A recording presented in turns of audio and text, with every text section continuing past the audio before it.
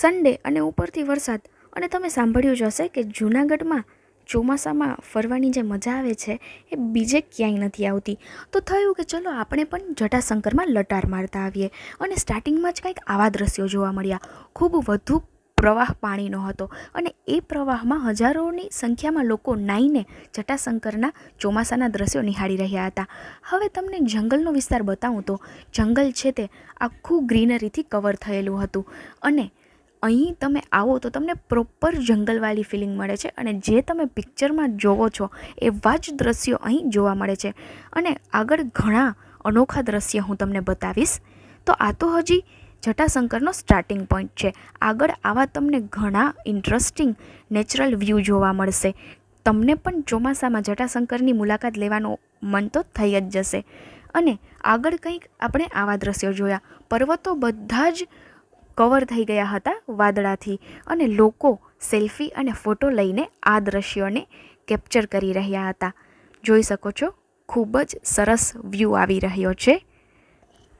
તો અહીંથી ચાલુ થઈ રહ્યો છે જટાશંકરનો રસ્તો.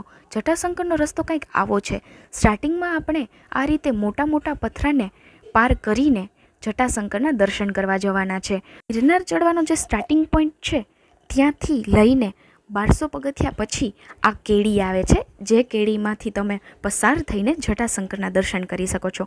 તો આ તેનો હજુ તો સ્ટાર્ટિંગ પોઈન્ટ છે. આગળ ઘણા નાના મોટા ધોધ અને અનોખા જે ભાગ્યે જ દ્રશ્યો જોવા મળે છે, એ મેં કેપ્ચર કરેલા છે. તો જોઈ શકો છો, અહીં નાના નાના ધોધ છે તે વચ્ચે વહી રહ્યા છે અને વચ્ચે એક મોટો ધોધ આવે છે, ત્યાં પણ લોકો નાઈને આ ચોમાસાની મજા માણે છે. જોઈ શકો છો, ઘણી મોટી સંખ્યામાં લોકો અહીં ઉમટી પડ્યા છે અને નાહીને ચોમાસાની મજા લઈ રહ્યા છે. જોઈ શકો છો, આ દ્રશ્યો તમે જોશો તો તમને ચોમાસામાં એકવાર જટાશંકરની મુલાકાત લેવાનું તો મન થશે જ. અને હવે આપણે જટાશંકર પહોંચીને જટાશંકરના દર્શન કરીએ તો અહીં જટાશંકરનું મંદિર આવી ગયું. ત્યારબાદ જટાશંકરની સામે, મંદિરની સામે કંઈક આવા જંગલના દ્રશ્યો જોવા મળે છે. ખૂબ લીલાછમ ઝાડવાની સાથે એકદમ પ્રોપર જંગલવાળી ફિલિંગ આવી રહી છે. અને હવે હું તમને અહીં ભૈરવ દાદાનું મંદિર બતાવું, જે અમુક લોકોએ જોયું હશે અને ઘણા લોકોને તો ખબર પણ નહીં હોય કે ત્યાં આ રીતે ભૈરવ દાદાનું મંદિર છે. તો ચલો હું તમને એ મંદિર બતાવું.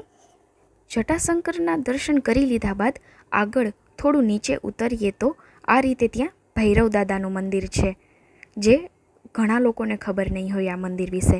ત્યારબાદ જટાશંકરથી થોડું આગળ ચાલીએ તો ત્યાં એક આ રીતનો ધોધ વહી રહ્યો છે અને આ ધોધમાં પણ હજારોની સંખ્યામાં લોકો નાઈને ચોમાસામાં, ચાલુ વરસાદમાં જટાશંકરના દ્રશ્યોની મજા લઈ રહ્યા છે. આ રીતનો ખૂબ જ પાણીનો પ્રવાહ વહી રહ્યો છે પર્વતમાંથી અને મોટા મોટા પથ્થરોની સાથે કવર થયેલો છે. જોઈ શકો છો આવા અનોખા દ્રશ્યો તમને જટાશંકરમાં ચોમાસામાં જ જોવા મળે છે. જટાશંકરના દર્શન થઈ ગયા બાદ ધોધમાં ખૂબ નાહી લીધા બાદ હવે રિટર્ન થઈએ. તો રિટર્નમાં જે અદ્ભુત નજારો જોવા મળ્યો એ તમને ભાગ્યે જ જોવા મળે છે. તો આ દેખાઈ રહી છે અંબાજી અને દાતારની ટોચ. તે બંને ટોચ છે તે વાદળાથી કવર થઈ ગઈ છે. આવો નજારો તમને જૂનાગઢમાં જ જોવા મળે છે. અહીં નીચેથી જે તમને દેખાઈ રહી છે એટલે કે જટાશંકરના સ્ટાર્ટિંગ પોઈન્ટથી તમને દેખાશે તે છે અંબાજીની ટોચ અને દાતારની ટોચ, જે બંને અત્યારે વાદળોથી કવર થયેલી છે. વર્ષા ઋતુમાં જૂનાગઢમાં જંગલ છે તે આખો એરિયા લીલોછમ થઈ જાય છે અને વાદળોથી કવર થઈ જાય છે પર્વતો. તો આવા નજારા જોવા હોય તો જટાશંકર તો આવવું જ પડે.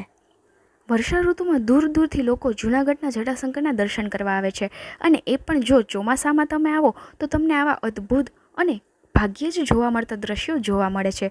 અને સાથે સાથે વાનરોની સેનાના ખેલ પણ જોવા મળે છે. અને અહીં તમને ખાણીપીણીની બધી જ વસ્તુ મળી જશે. ગરમા ગરમ મકાઈ અને ચનાચોરની મજા માણતા માણતા આપણે હવે રિટર્ન થઈએ અને આવા અદ્ભુત નજારાની મજા લઈએ. હું તો વર્ષા ઋતુમાં જૂનાગઢના જટાશંકરની લટાર મારી આવી. હવે તમે ક્યારે જશો? અને મને કમેન્ટ સેક્શનમાં જરૂર જણાવજો કે તમે ગયા અને તમને શું જોવા મળ્યું? તો આવા જ વીડિયો સાથે આપણે ફરી મળીશું. બાય